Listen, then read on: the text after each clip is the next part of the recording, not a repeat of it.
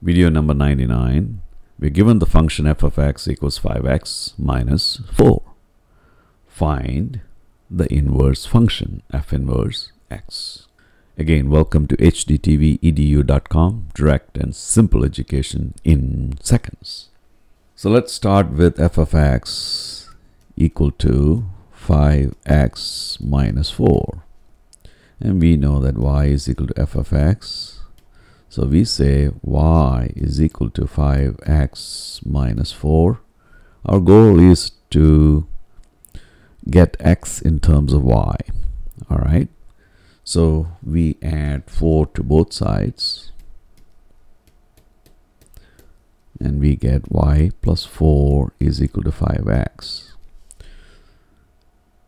Our goal is to isolate x by itself and get x in terms of y. So that means what? We need to divide both sides by 5. So divide both sides by 5 and what do we get? y plus 4 divided by 5 is equal to x.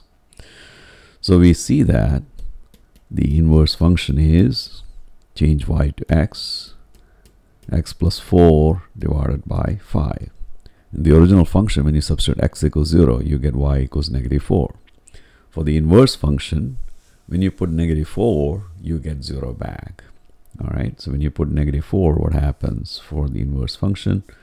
It is negative 4 everything else stays the same.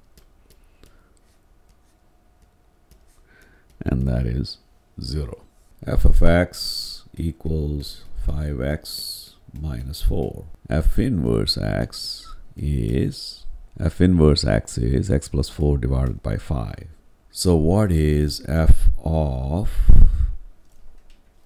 f inverse x? So we write f of x as before. And in that space occupied by x, substitute f inverse x, x plus 4 divided by 5. So we get 5 times x plus 4 divided by 5 minus 4 and 5 and 5 cancels out so we get x plus 4 minus 4 and that is x. So we have f of f inverse x is equal to x.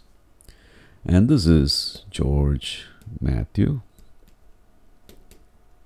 signing off. Good luck